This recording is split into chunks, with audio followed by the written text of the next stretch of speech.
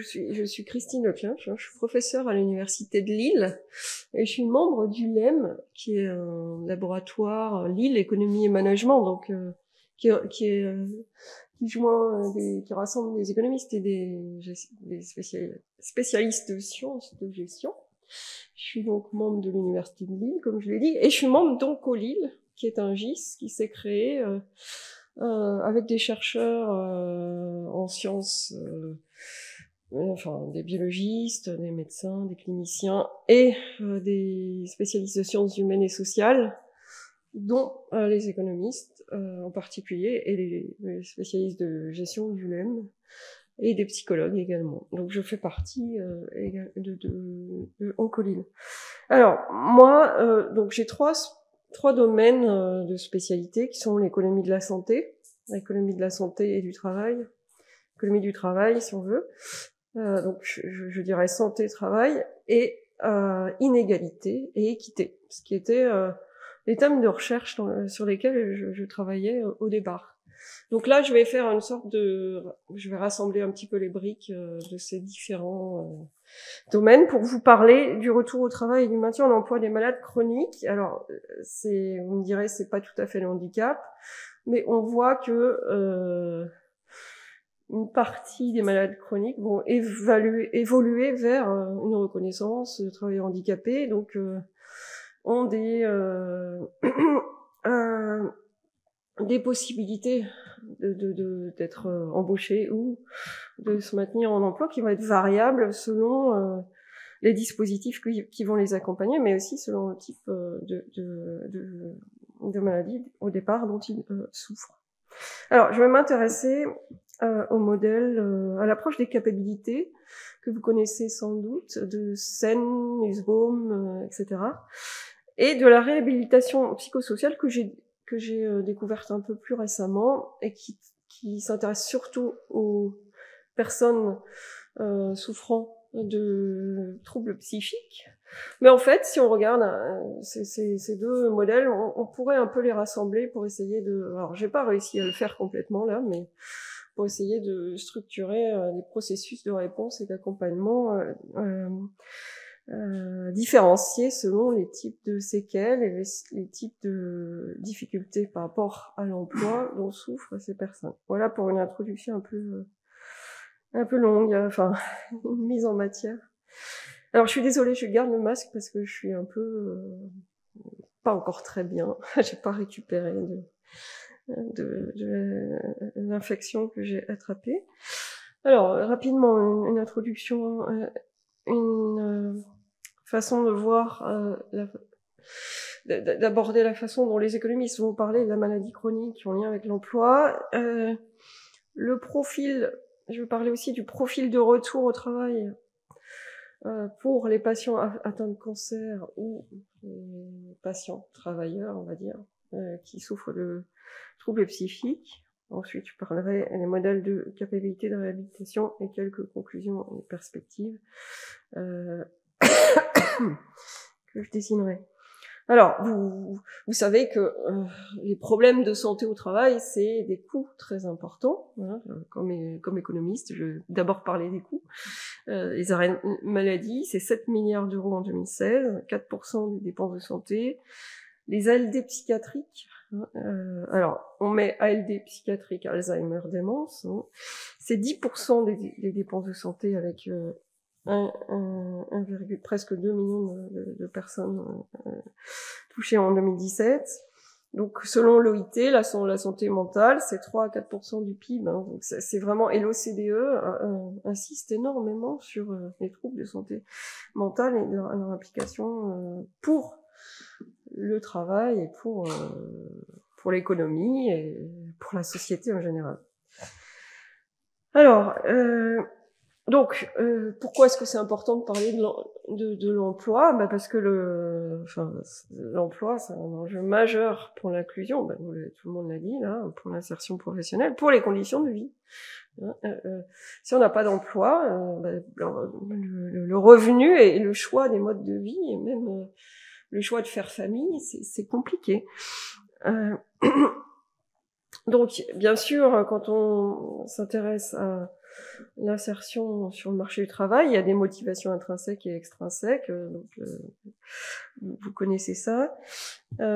alors, si je veux regarder un petit peu le taux d'emploi des personnes malades chroniques ou porteuses de handicap en France, euh, ce que ce qu'on peut dire, hein, c'est qu'il y a une grande variation. Moi, j'ai du mal à dessiner, à avoir euh, des chiffres euh, pour dire, bah, c'est ça, c'est ça.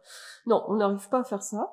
Une grande variation des taux d'emploi pour les, les, les, personnes souffrant de maladies chroniques évolutives. Hein. C'est très faible pour les dialysés, par exemple, hein, de l'ordre de 20%.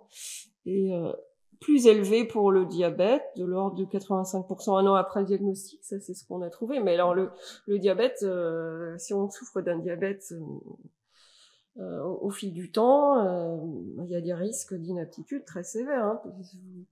Prenez un, par exemple un chauffeur qui fait une hypoglycémie sur la route, c'est, enfin voilà. Donc le, le, diabète peut conduire à des inaptitudes assez rapidement le handicap ou les troubles psychiques. Alors je dis handicap, troubles psychiques, je, je reste un peu euh, un peu évasive hein, pour. Euh, je, je, reviendrai peut-être là-dessus après. Le, taux, on sait que dans une étude que j'avais dirigée, on sait que le taux de d'emploi des personnes qui ont été diagnostiquées, euh, les patients atteints de schizophrénie qui ont été diagnostiqués, un an après la maladie, leur taux d'emploi est 68% par rapport à des témoins. Et c'est un des taux les plus faibles de, de l'échantillon qu'on avait. On, avait un échantillon de 500 000 personnes dans le secteur privé. Euh, et on avait euh, entre 85% et 94% de taux d'emploi euh, pour les personnes atteintes de cancer, de différents types de cancers, un an après le diagnostic. Alors, pour l'ensemble de ces maladies ou de ces malades chroniques, il y a des enjeux majeurs de maintien en emploi parce que certes, on, parle de retour au travail quand on évoque euh, le fait que la personne diagnostiquée va être traitée, va rentrer dans l'acceptation de sa maladie, euh, va suivre un processus d'éducation thérapeutique et revient éventuellement au travail. Et puis ensuite, il y a le maintien en emploi, euh, qui est le fait de vraiment pouvoir se maintenir au travail dans des conditions qu'il faut essayer de comprendre. Alors bien sûr, il faut aussi tenir compte du cycle de vie. Euh, le taux d'emploi, il va être plus élevé en âge jeune, ça c'est sûr, hein, même avec maladie, chronique. Et puis, il sera de plus en plus faible au fur et à mesure du temps qui passe, de l'âge qui avance. Alors, il y a des enjeux d'améliorer les taux d'emploi des personnes avec des maladies chroniques. Euh, euh, alors, je sais pas si j'ai, je vais pas citer l'OCDE. Oui, l'OCDE disait que dans une étude de 2013, euh, les taux d'emploi étaient de 10 à 15 points de pourcentage inférieurs pour les personnes souffrant de, troubles de santé mentale en particulier, dans les pays, dans les différents pays qu'ils avaient euh, revus, par rapport à la population générale. Donc il y, a des marges de manœuvre.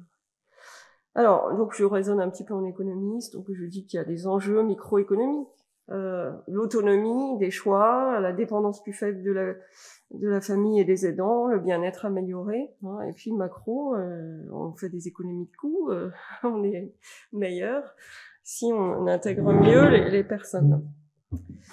Alors ici, je vais cibler donc deux types de maladies qui sont différentes. alors je, dis cas c'est pas exactement ça, mais c'est cas polaire des, difficultés. Euh, c'est pas les mêmes difficultés, c'est pas au même moment et ça n'a pas forcément les mêmes incidences. Alors, le cancer, c'est un choc. Hein, vous êtes euh, atteint de cette maladie, vous apprenez un diagnostic, et puis euh, tout à coup, vous allez rentrer dans le système de soins et vous allez y rester. On voit que bon, les traitements, ça varie entre trois mois la première année et un an. Hein voire plus. Donc vous allez être loin, vous allez être loin de l'entreprise pendant euh, parfois un an. Et puis vous revenez. Euh, voilà, donc c'est un choc. Euh, le, la, la, maladie psychique, hein, c'est une entrée progressive et souvent ça se fait à un âge jeune. Hein, les troubles psychiques, euh, ils se, ils s'épanouissent, si on peut dire, à, l'adolescence, hein, puis ils vont ils vont euh, ensuite euh, bah, avoir des effets plus ou moins importants euh, et, ça peut affecter l'entrée sur le marché du travail pour les personnes avec des troubles bipolaires ou des troubles du spectre de la schizophrénie par exemple. Mais vous avez aussi des dépressions. et là, les dépressions, ça peut toucher toute personne en âge de travailler et euh, y compris en lien avec le travail. Hein. Donc c'est ce qu'on appelle des dépressions exogènes. Alors on fait plus trop cette distinction endogène exogène, mais voilà, ça peut aussi toucher les dépressions. C'est un vrai euh, risque de d'être en, en invalidité, hein, en inaptitude d'abord et en invalidité ensuite. Alors on sait que la stigmatisation et la discrimination est très forte pour ces maladies-là. Alors moins pour le cancer, hein, parce qu'on aime bien mettre en avant la figure du survivant, euh, du, la figure nietzschéenne, hein, celui qui, ce qui ne tue pas rend plus fort. Donc ça, c'est quelque chose qui est médiatisé hein, dans des exemples euh, dans les entreprises. Et puis il y a euh, tout un tas d'associations que vous connaissez qui se sont créées hein, dans les entreprises. Et puis il y a l'INCA qui a créé son club des entreprises. Donc on sent que le cancer, c'est encore une maladie. Euh, euh, c'est bon, certes, c'est bon. D'un point de vue médiatique, c'est une maladie qui ne jette pas l'opprobre sur la personne, on va dire.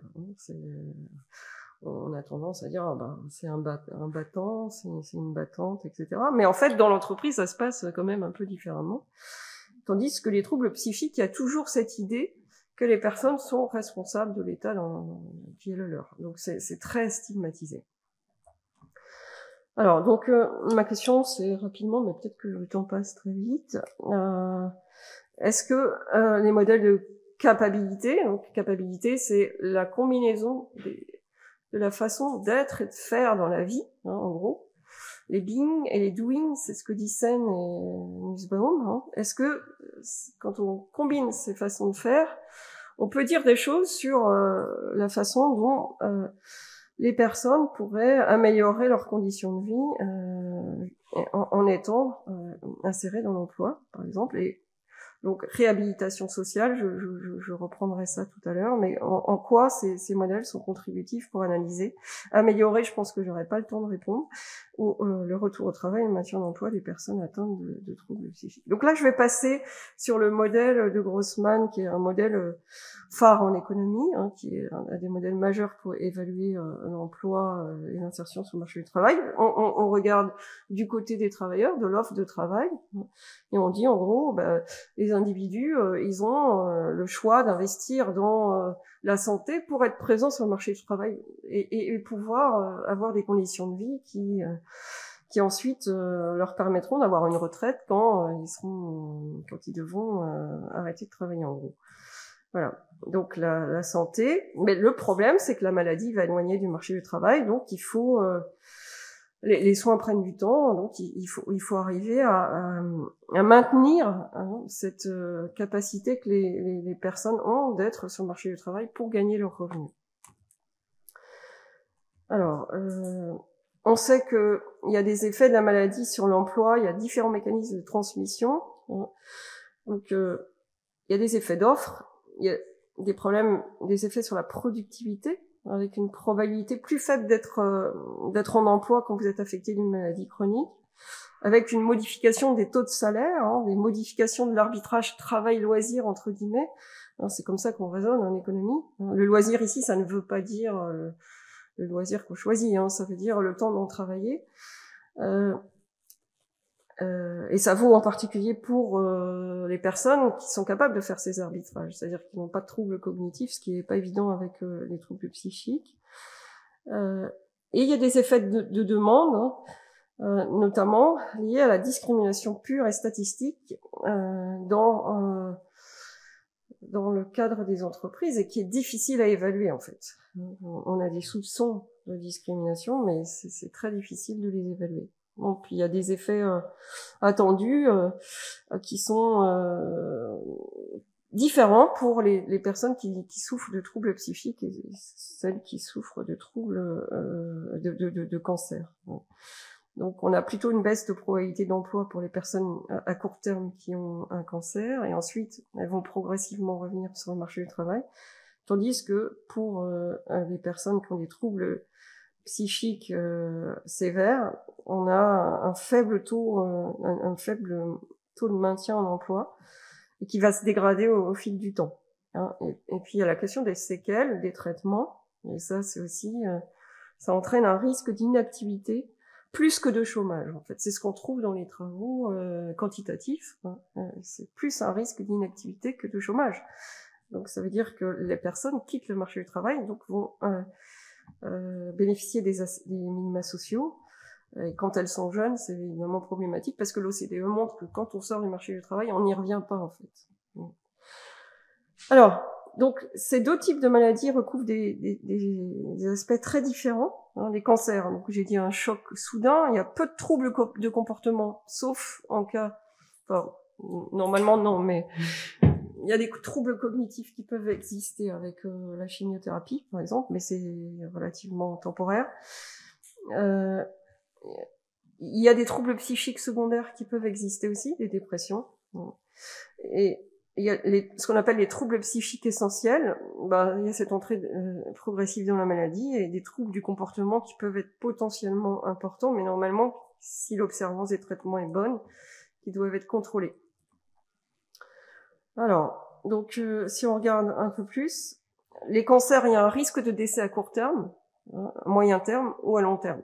C'est ça n'est pas que du court terme, du, ça n'est pas que du 2 ans, 5 ans, ou 10 ans, hein, c'est 20 ans. Enfin, il y a des cancers qui ne font plus parler d'eux et qui reviennent au bout de 20 ans sous forme métastasique. Donc il y a toujours une épée de Damoclès. Donc ça, c'est quelque chose qui reste. Il y a des, des cancers de mauvais pronostic d'emblée qui sont métastasiques, et puis euh, mais avec lesquels il y a des traitements qui marchent, et puis d'autres euh, pour lesquels euh, il n'y a pas de bon, il n'y a pas de traitement, il y a des cancers de bon pronostic, vous, vous, connaissez ça.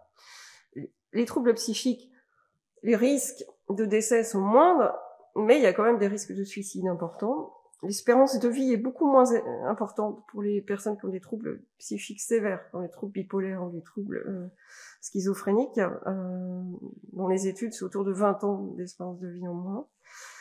Euh, bon, il y a certains troubles qui sont traitables et d'autres qui le sont moins. Euh, voilà. Alors ici, j'ai reproduit euh, un travail de Marie Ménoret qui est décédée euh, elle-même d'un cancer il y a quelques années et qui montrait la séquence de la trajectoire hein, de la personne atteinte d'un cancer. Donc elle, quitte le marché du travail pour se soigner, puis elle revient. Hein. Euh, et puis éventuellement, euh, bah, il peut y avoir une trajectoire descendante euh, en cas de récidive, etc. Tandis que pour le, les troubles psychiques, c'est beaucoup moins codifié. Euh, c'est très varié. On croit que c'est des troubles psychiques en général. Ça, bon, on met un peu tout dedans, mais non, c'est très varié. Il y a certains troubles qui sont très très euh, très précoces et d'autres beaucoup plus tardifs. Et donc le risque, c'est vraiment euh, l'inactivité plutôt que le chômage. Alors voilà le des capacités. Je vais essayer d'accélérer. J'ai combien de temps? Ah ouais, ok. Alors le modèle des capacités, hein, ici, c'est l'idée que les gens vont combiner euh, des fonctionnements pour atteindre un certain niveau de vie, un certain bien-être. Tandis que la réhabilitation sociale, euh, c'est l'idée que donc on est vraiment du côté des soignants d'abord hein, dans ce modèle-là. Donc il faut améliorer la qualité de vie des personnes ayant des troubles psychiques ou psychiatriques en les aidant à maintenir, développer et utiliser les habiletés sociales et fonctionnelles pour vivre, apprendre à travailler en communauté, etc. On peut considérer que c'est assez proche, mais qu'il y a des variantes quand même. Donc je vais aller un peu plus vite. Donc dans le modèle de, des capacités, et de la réhabilitation, on peut voir quelque chose d'assez commun, qui est ce qu'on appelle les facteurs de conversion. Alors, ça va pas être le même vocabulaire exactement du côté du modèle de réhabilitation. Il y a les facteurs de conversion personnels, c'est-à-dire comment les personnes vont utiliser les ressources qu'elles ont pour les transformer pour euh, en, capacité à faire des choses. Et puis il y a les facteurs de conversion sociaux et environnementaux. Donc là, il y a euh, évidemment les relations sociales, il y a l'environnement dans lequel les personnes euh, euh, euh, sont insérées. donc, pour avoir une vision de la façon dont ces, ce ces modèles vont permettre à la personne de s'insérer dans la vie et améliorer leurs conditions de vie, vie à l'emploi par exemple, hein, il faut avoir une vision dynamique de, de ces modèles. Donc, on va les évaluer à une étape, on va mettre en place des accompagnements ou des procédures qui vont les aider à, améliorer euh, leur, possibilité de combiner ces fonctionnements, puis on les évaluera ensuite plus tard. Donc, pour les la réhabilitation, c'est un modèle qui a d'abord été euh, conçu par des soignants. Donc, euh, ça passe d'abord par ce qu'on appelle la réhabilitation métacognitive, c'est-à-dire qu'on demande, on essaye de faire en sorte que les personnes atteintes de troubles psychiques en particulier réfléchissent sur leur manière de penser pour essayer d'améliorer leur comportement. Et c'est à cette condition que la réhabilitation sociale et la réhabilitation psychosociale, c'est-à-dire euh, l'emploi, hein, devient possible.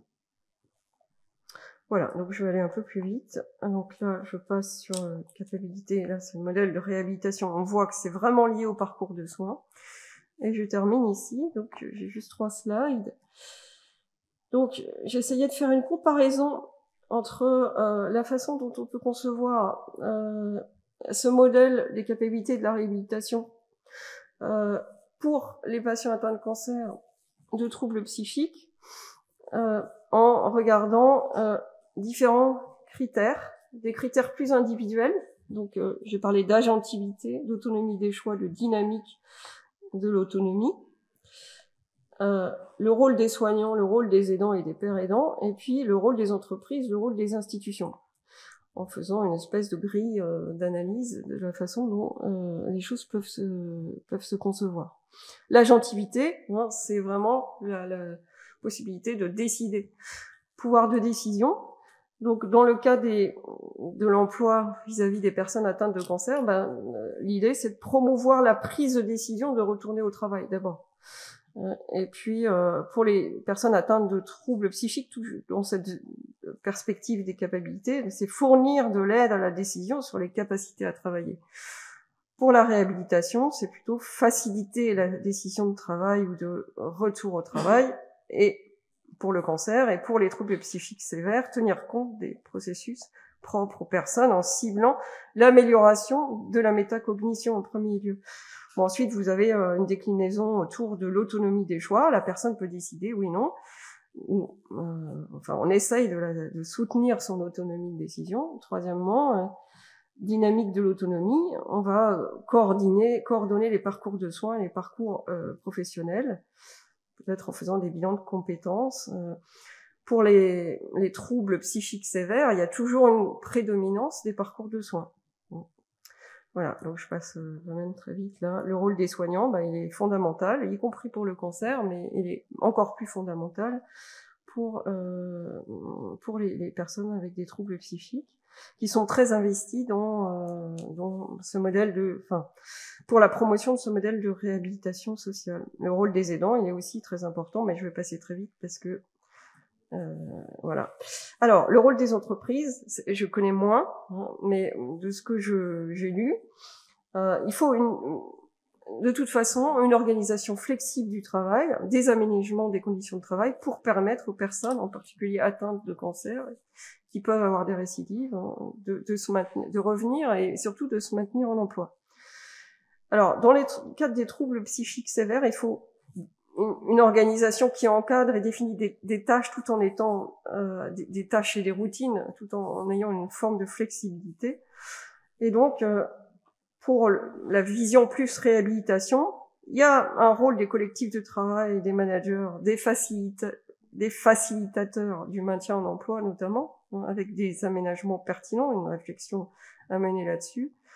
Et pour les troubles psy, bah, ça, reste quand même à définir. Hein. C'est très compliqué de, de voir comment on peut euh, vraiment définir des modalités via les entreprises pour euh, maintenir en emploi euh, les personnes atteintes de troubles sévères. Voilà, donc le rôle des institutions, je vais passer ici. Donc en conclusion, A priori, ce modèle des capacités et des réhabilitations est pertinent pour évaluer les différentes étapes de retour au travail et de maintien d'emploi des personnes atteintes de maladies chroniques et les difficultés associées. Une approche dynamique est nécessaire. Euh, il faut tenir compte des spécificités des travailleurs euh, malades et patients malades, des spécificités des personnes, mais aussi euh, des troubles dont, ils souffrent.